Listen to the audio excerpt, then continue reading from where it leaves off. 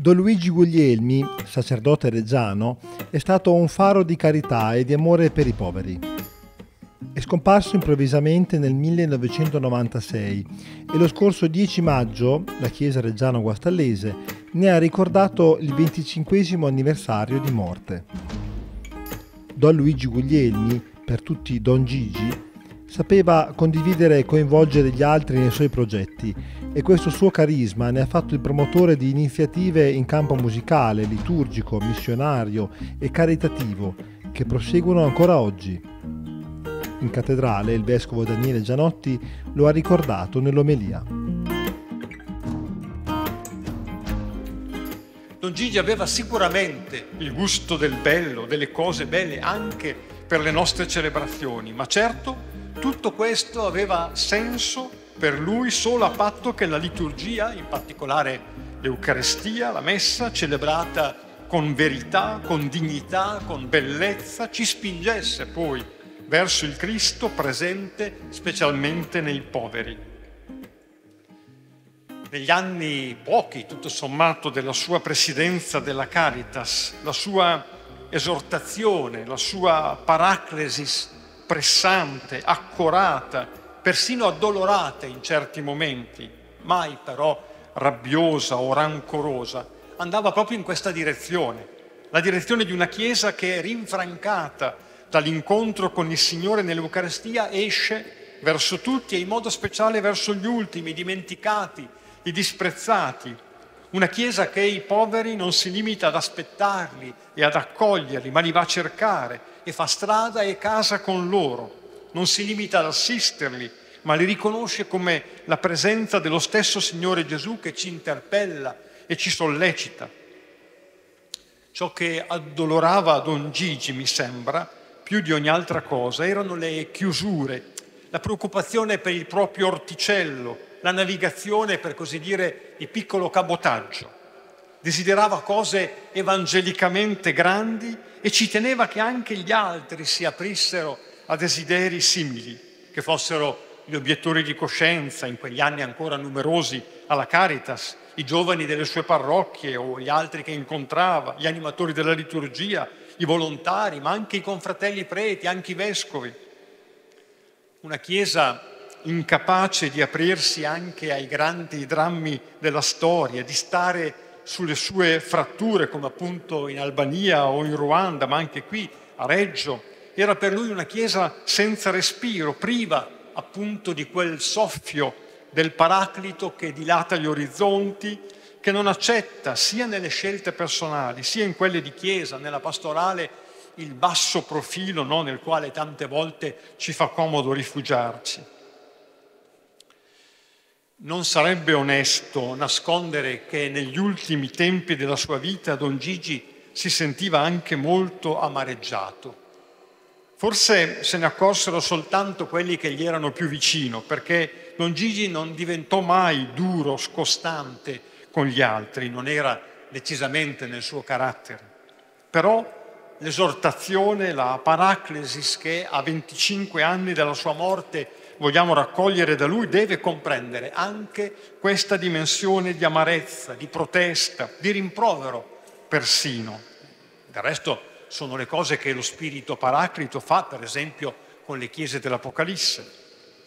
Appunto, eh, ciò che Don Gigi sentiva per questa sua e nostra chiesa che non riusciva o non voleva vedere ciò che ai suoi occhi era chiarissimo, e cioè che solo una chiesa veramente attaccata al suo Signore, una chiesa umile e povera e però non remissiva, non chiusa in se stessa, una chiesa capace di stare sulle frontiere che più rendono evidente e urgente la necessità, la novità del Vangelo. Ecco, solo una chiesa così è il riflesso autentico di Gesù Cristo, può celebrare con verità l'Eucarestia, può essere libera davanti al mondo e fare proposte significative, specialmente ai suoi giovani.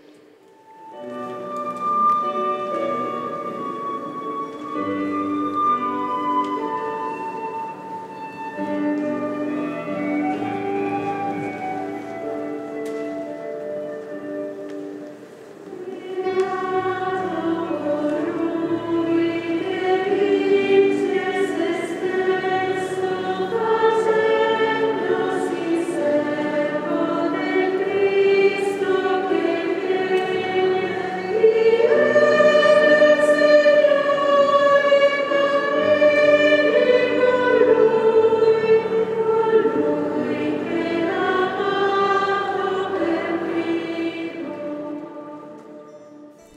Don Gigi era un musicista e la sua passione per una liturgia che conduce a Cristo e ai fratelli bisognosi lo ha portato a fondare nel 1976 a Reggio Emilia l'Istituto Diocesano di Musica e Liturgia.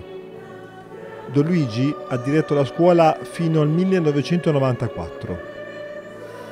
Il canto di beatitudine da lui composto è la sintesi della sua predilezione per i poveri espressa in parole e musica. Dopo essere diventato parroco di Castellazzo nel 1982 e successivamente di Roncadella, nel 1992 il vescovo Paolo Gibertini chiama Don Guglielmi a dirigere la Caritas diocesana.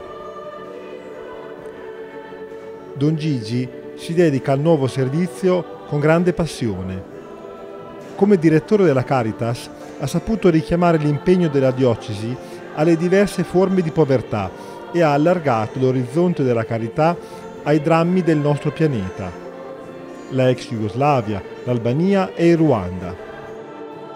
Don Luigi conosceva bene il Ruanda a motivo della missione avviata dal fratello padre Tiziano e del legame con il paese africano intensificatosi dopo la morte di Tiziano nel 1980. Nel 1995 Don Luigi, negli studi di cronaca Il rotocalco diocesano, ha presentato così la situazione della Chiesa ruandese dopo il genocidio del 1994. Sì, la Chiesa ruandese è tutto sommato abbastanza giovane, ha un secolo di vita, quasi è stata molto aiutata dalla Chiesa dell'Occidente, e molti missionari si sono recati in questo paese, i padri bianchi soprattutto hanno fatto un grosso lavoro di, di fondazione di questa Chiesa. E la Chiesa eh, si è messa sempre, come dovrebbe sempre fare, dalla parte dei poveri, dalla parte dei bisognosi. Non sempre ci è riuscita, soprattutto in questo ultimo scorcio della sua storia, Ecco, la Chiesa ruandese non sempre si è collocata dalla parte dei più deboli e questo l'ha messa un po' in difficoltà perché di fatto essa è stata martire, è stata fatta oggetto di violenza perché mm, i Tutsi e un po' anche gli Hutu hanno ammazzato tanti sacerdoti, si contano più di 120 morti sacerdoti, moltissimi religiosi, religiose e addirittura anche tre vescovi, dei quali uno, dobbiamo dirlo, era un pochino coinvolto anche politicamente. E questo che fa un pochino pensare insomma, che la Chiesa quando si mette al servizio della gente dovrebbe non stare dalla parte super partes, come si dice, ma dalla parte degli oppressi, questo sarebbe il suo vero ruolo. E attualmente la Chiesa sta soffrendo molto perché con questa ferita così profonda eh, non sa bene che tipo di rapporto instaurare con i nuovi governanti. Io ritengo, per quello che posso capire, che la Chiesa potrebbe avere una carta vincente in Ruanda se davvero scegliesse di mettersi dalla parte di quelli che attualmente sono oppressi. E attualmente gli oppressi sono gli Hutu, c'è poco da dire. Il mio figlioccio, Sangani, sono quelli che vengono con me oggi, no, Sangani, Uibuchi,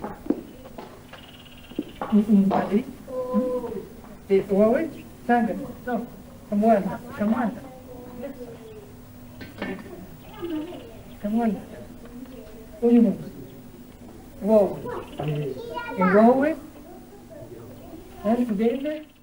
sono stato tra i primi a entrare nella sua camera e ho visto aumentato dal dolce sonno della morte, un mistero dal quale non possiamo interrogarci.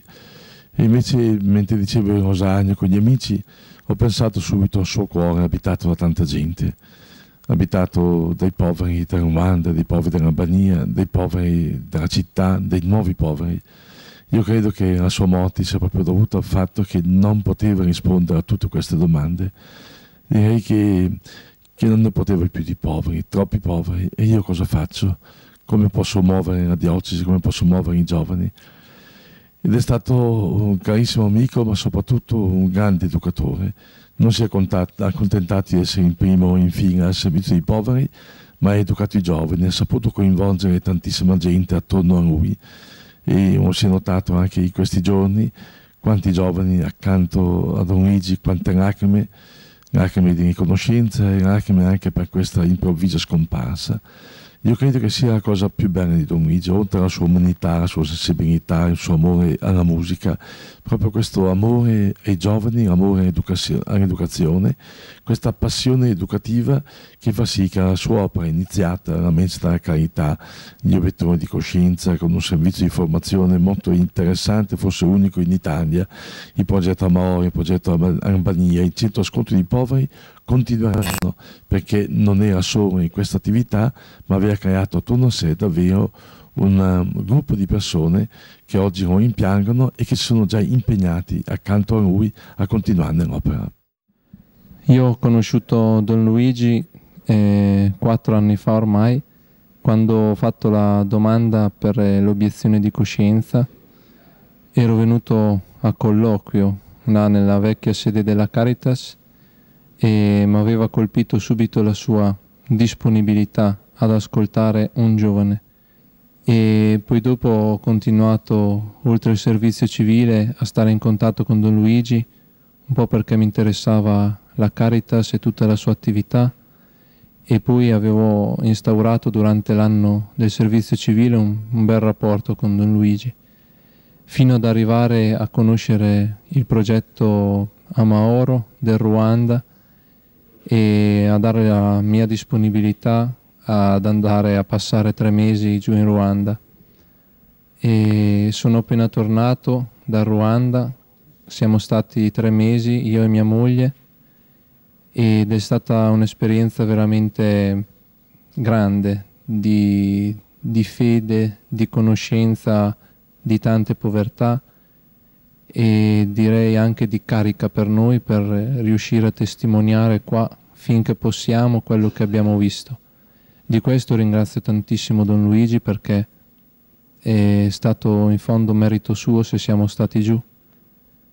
E lui c'era anche al nostro matrimonio, c'era a sposarci ed è proprio in quel giorno che è stato lui stesso da Lambone ad annunciare la nostra partenza alle due comunità riunite la mia e quella di mia moglie, ai nostri genitori e lo aveva fatto veramente con eh, una gioia nel cuore, con una contentezza che due giovani eh, dessero la disponibilità di passare dei mesi, di condividere con un popolo sofferente la loro vita.